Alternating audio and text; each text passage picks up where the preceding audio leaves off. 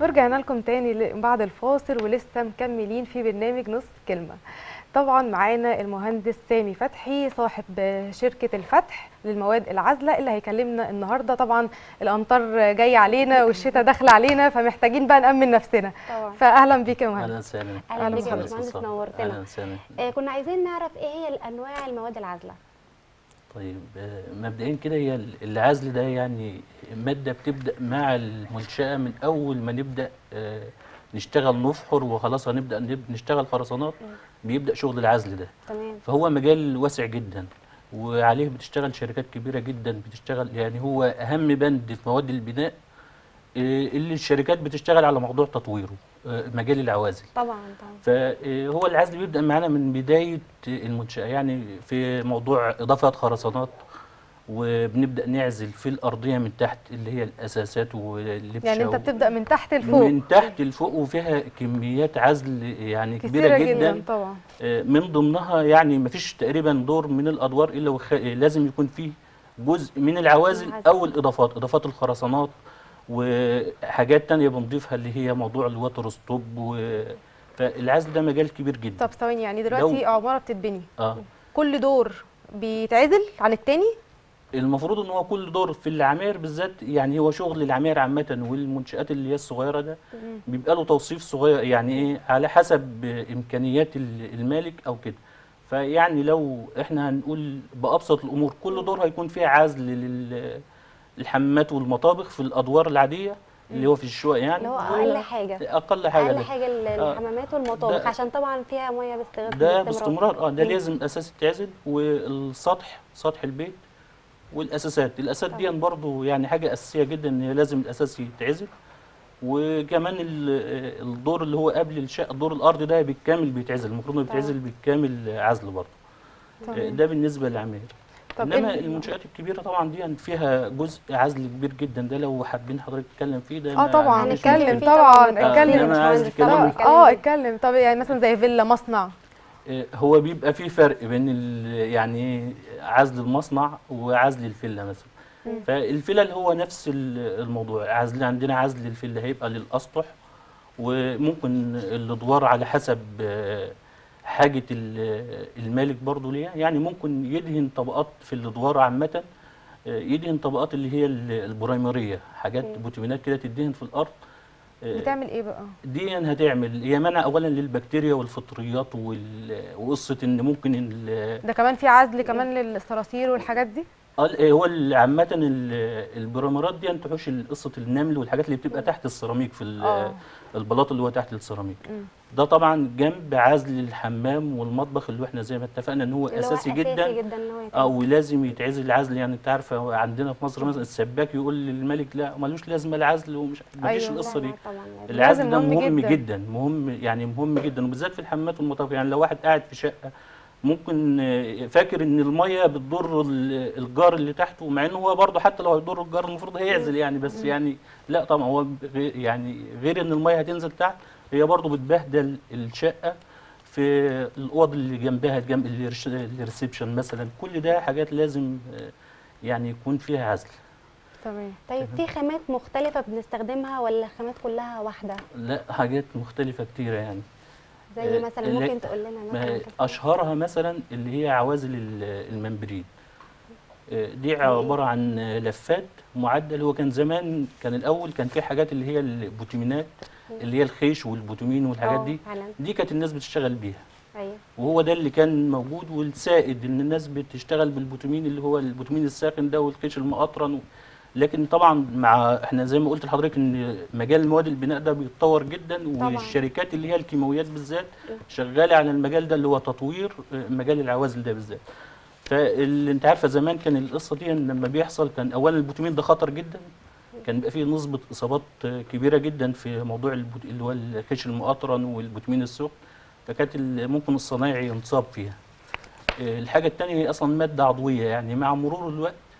المادة العزل اللي هو الخيش المقطرن ده بيتاكل بيدوب بيتاكل، مكانه فيبقاش فعلا. أصلا عمره مش طويل طبيعي لذلك هم استبدلوه أو طوروا استبدلوه باللي هو اللفات اللي زي ما قلت لحضرتك يعني أنا كنت بعت فيديوهات اللي لو لو الفيديوهات آه. جاهزة يا جماعة معانا يا ريت يعني نعرضها اللفات دي عمرها اولا هي مادة بلاستيكية هي أصلا بيتومين بيتومين معدل بس مضاف عليها آه، المواد حاجة تانية اللي هي البوليستر وحاجات زي كده. آه، ده ده جزء ده يعني دي خامات دي خامات. دي خامات من الخامات وده يمكن أشهر حاجة في بس ده له يعني عيوب بسيطة جدا أو يعني حاجة لو إن الناس تاخد بالها منها يعني ممكن تتغاضاها إيه؟ اللي هي شغل ال- الصنايعي اللي هو ما عندوش الخبرة الكافية بالتركيب بطريقه التركيب للعزل ده.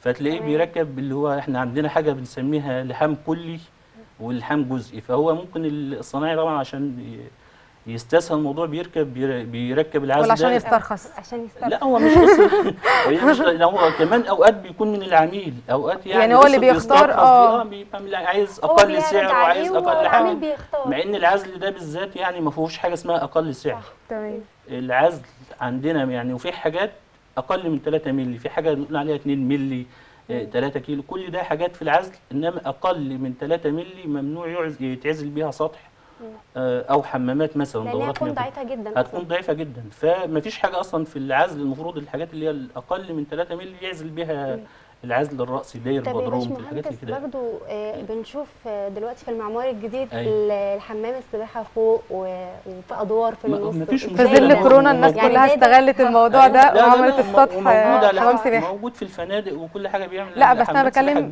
في عمارة. في بيت يعني. وفي عمارة يقدر يعمل. وفي أبراج كتير بنشوف حاجات زي كده وفي أبراج بتتعمل. كبير يعمل ما عندوش أي مشكلة. بس لو هو ما عندوش مهندس استشاري كويس ويوصف له الموضوع مظبوط قبل ما يشتغل ويعمل أي حاجة يسأل إزاي يعمل حمام سباحه لأن حمام السباحة ده بالذات ده له. يعني مجال تاني خالص. ده آه، طول الوقت فيه مية يعني. قبل أي حركة تتعمل فيه في لازم يكون فيه شغل. آه، من أول صبة الأرضية فيها إضافات وحاجات بتضاف مع الخرسانة نفسها. طبعا الإضافات دي حاجات بتقوي الخرسانة وبتطول عمرها جدا. يعني حاجات مهمة جدا. بعد ما بيصب بين الحيطان في حاجات إحنا بنركبها اسمها water stop ده بيركب في حمام السباحة. بعد ما يصب في حاجات بتصب اللي هي مواد منع النفاذيه طبعا أنا مش عايز أذكر أسماء عشان مبقاش دعاية لشركات تانية آه. لأن أنا ما بصنعش الحاجات دي. أنا مورد للشركات اللي بتشتغل في كده موزع. أيوة. ليهم. آه. موزع معتمد موزع ليهم معتمد للشركات دي. فطبعا مش هينفع آه، أذكر اسمها إنما فيه لازم يضيف اللي هي مواد منع النفاذيه بعد ما يخلص القصة دي بنبدأ مر... بداية العزل بقى. يعني نبدأ بعد كده بعد ما يخلص صبة بالإضافات ويحط ال... الحاجات اللي بقول لحضرتك عليها دي يعني نبدأ بعد كده خلاص بداية معانا على العزل. الشاشة الفيديو؟ ده إيه ده بقى؟ هي دي عزل أرضية. دي الأرض. دي, دي الأرض زي ما بقول لحضرتك اللي هو بيبدأ شوف يعني إحنا دي الصبة العادية. آه. يعني دي الصبة العادية في الخرسانات. فهو شوفي هنا إحنا بنبدأ يعني نعزل من أول بداية المنشأة. أيوه يبدأ نعزل الحاجات دي اللي هي لفات الممبرين اللي بقول لحضرتك عليها. آه، بعد كده خلاص يعني يبدأ بعدين يصب الخرسانة المسلحة بعدين ونبدأ مراحل تانية اللي هي اللي هي العزل بقى آه. الواحده اللي هو المطبخ والحمام لحد ما نوصل ل- للآخر. لسه فيها مراحل قبل المطبخ طب والحمام ما بس هو. يعني هو في عزل. الاشعه برضو يا باشمهندس برضو بيبقى في ناس بتعمل عزل عشان أشعة الشمس لاخر دور ده و- موجود ده اللي هو عوازل الحرارة ده عزل الحرارة يعني آه، يعني لو حابة أكمل لحضرتك آه، قصة. العوازل. الأسمنتية دي لأن دي يعني زي ما قلت لحضرتك إحنا قلنا العزل ده فيه اللي هم أشهر حاجتين فيهم يعني واللي الناس كلها بتستخدمها عامة وبالذات ال- الناس الأهالي وكده اللي هو اللفات اللي هي جات لحضرتك اللي هي الممبرين الحاجات اللي بتركب زي ما تانية. بتركب مم. تسخين. إيه، نعم. دي تسخين كلي اللي هو لازم ال- الشغل دي برضو في الأرض؟ آه ده لا ده مصنع ده سطح ده مصنع، مصنع. آه هو المساحة دي بتبقى بتختلف بقى كل حاجة عن حاجة. آه طبعا بتختلف. يعني في ال... ده ده سطح مصنع وبنعمله عزل وشين. آه، الوش الأولاني بيركب زي ما حضرتك شايفاه كده في وش تاني بيبقى عليه حاجة اسمها حبيبات المينرال. آه، دي مادة هي عازلة للمية وفي نفس الوقت بتستحمل العوامل الجوية اللي هي الشمس والرطوبة يعني ما بيغطيش عليها بأي حاجة تاني بلاط وحاجات زي كده. آه، طبعا العوازل بتاعة السطح لازم آه، يغطي عليها ببلاط. ويغطي عليها آه، يعني يبلط ويعمل أسمنت وحاجات تتغطى يعني. إنما في جزء حاجات زي ده كده شغل شركة الفتح. آه ده شغلنا طبعا. ده الشغل بتاع حضرتك. كل ده شغلنا الحمد لله. تمام. والفيديو برضو اللي قبله كان آه شركة كله الفتح. كله آه كله حضرتك ده شغلنا إحنا. عايزين نعرف من حضرتك برضو آه، الخرسانة اللي هي الصبة هي بتبقى عازلة للمية ولا بتسرب المية؟ الخرسانة لوحدها مش هتعزل مية يعني. صبة الخرسانة دي ما بتعزلش مية. دي هي هي صبة عادية خالص. أي صبة حتى لو ضاف إليها إضافات آه، زي ما قلت لحضرتك منع لنفاذيه المية وكده. كل دي حاجات يعني إيه تعتبر آه، بداية للعزل إنما مش هي العزل. زي ما قلت لحضرتك يعني حمام السباحة أنا لازم يتصب الخرسانة ويضاف معاها الإضافات آه، اللي هي تساعد آه، على موضوع عزل المية بس ما بتعزلش المية. بعد كده بيبدأ نعمل هو العزل الأسمنتي ده دهان عباره بس مش عن الاسمنتي دوت اللي هو ممكن لا، يعمل مية. لا لا لا. دي حاجة ودي حاجة دي يعني. حاجة تاني خالص. آه آه. طيب آه. لا لنا بقى. ده شركات الكيماويات بتنتجه آه، عبارة عن آه، مجموعة كده شكارة وجيركن بيتضافوا على بعض ويدهن على الخرسانة عشان يعزل المية. وهو ده الشغل اللي بيشتغل في حمامات السباحة. وخزانات المية وغرف التفتيش لل للعمارات ويعني أماكن كتيرة وأساسات البيوت برضو بيشتغل فيها العزل الاسمنتي ده. العزل الاسمنتي طبيعي حتى معانا برضو يعني فيديو. ده وسط جبل لا هو ده ده أرضية أرضية مصنع برضو بتبقى بداية عزل يعني ده بداية عزل آه بس دوت يعني. مختلف عن التاني عشان في أيوة. وسطه جبال والكلام ده كله مختلف ولا أيوه طبعا مختلف مختلف؟ مكان تاني أيوة. آه. بيحط حاجات أكتر ولا كميات أك- لا لا هو مختلفة هو العزل هو حضرتك العزل العزل بس اللي هي اللفات زي ما بقول لحضرتك يعني وده الأساسي بيكون في ال- في الشغل اللي في الأرضيات عامة أيوه تمام آه، فاحنا زي طيب. ما بقول لحضرتك بقى عندنا العزل الاسمنتي ده ده مجاله يعني ده تقريبا هو أهم مجال حاليا. أكيد طبعا لأنه إيه. المعمار كله قايم عليه هو يعتبر يعني آه ده يعتبر إحنا عندنا العزل الاسمنتي ده يعتبر حاليا هو ال- الفترة الجاية هو أهم مجال. زي ما قلت لحضرتك بالنسبة للمنبرين هو مطلوب جدا وشغال والناس يعني طيب. تشتغل بيه بس هو زي يعني فيه نقطة ضعف. لو الصنايعي يتجنب إنه يعزل تسخين جزئي الحمات بس ويسيب باقي اللفه فراغ من النص ده بيعمل مشكلة يعني لو فيه مطر نزل مثلا وفيه خرم في حتة طبعاً، ميه هو آه المية. بتمشي مع الخرسانة بتنزل من اضعف مكان فيها. بتبقى صعبة جدا الواحد يحددها هي طبعا دي. بتدمرها ولا ما بتدمر يعني بتبقى عادي ولا بتدمر الخرسانة نفسها اللي هي معمولة للعزل آه، لا هي لو دخلت جوه والكلام ده. لا هي الخرسانة اللي, اللي بتبقى يعني بيجي لها المية وبتاع دي بي هو القصة بيحصل إيه هو عامة لو يعني مثلا المية نزلت من سط- من سطح معزول مثلا على السقف تحت. لو إن السقف ده معمول له ناس ساكنة ومشطب تشطيب عامل جبس و... تمام. وش هو خلاص هو بهدل له هو مع. الوقت ال ال آه خلاص ال- مع الوقت خلاص. الشغل ده كل هيقع ده أصلا. والأسمنت والحاجات دي كل ده هتقع اتبهدل من المية. الحاجة الثانية يعني هو لازم لو يحافظ عليه. آه طبعا طبعاً. لازم يحافظ عليه.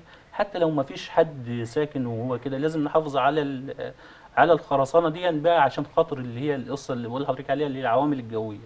الحديد مع مرور الوقت المية وبيجي له فراغ كده الفراغات اللي هي بتدخل هواء دي مع وجود المية معاه مع طول الوقت بتلاقيها تعمل عملية الصدى صدى الحديد آه. وبتاع يبدأ الحديد عمره نفسه يقل. طب الأسعار يعني متفاوتة ولا الأسعار؟ ثابته طبعا هي ال- الأسعار متفاوتة جدا في يعني دي بتحددها نوع الشغل.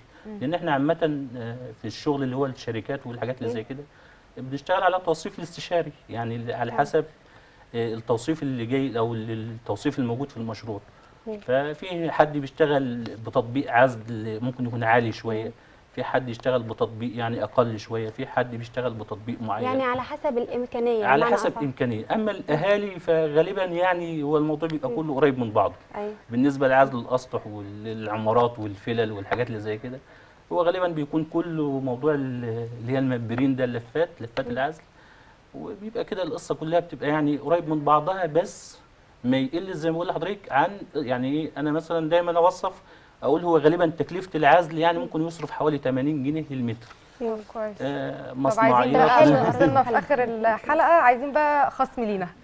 برنامج نص كلمة للمشاهدين بتوعنا. ما فيش مشكلة إن شاء الله فيه أنا بس بقول لحضرتك بشكل عام يعني آه، هو ممكن يصرف قد إيه؟ إنما ممكن مثلا حد يقول أنا ممكن أعمل. بعزل مثلا ب 50 جنيه. هنقول له هتشتغل بإيه مثلا؟ لأن آه. ممكن يشتغل بحاجة أقل بتاع. فبيبقى القصة عندنا لا إحنا عايزين إيه؟ اعمل حاجة بس اعملها صح. اعملها صح مرة واحدة واعمل شغلك مظبوط مرة واحدة وخلاص. حتى تعرف العميل الوضع انت هتشتغل بإيه والدنيا ماشية إزاي معاك مظبوط يعني. هي مرة واحدة شغل وخلاص بدل ما نعمله كذا مره. شكرا لحضرتك. نورتنا. النهارده شكراً. وشكرا يا. ياسمين سارة. النهارده في البرنامج كمان لسه مكملين إن شاء الله خلصت. حلقتنا يا رب تكونوا استفدتوا النهارده. واستنونا الخميس الجاي في نص كلمة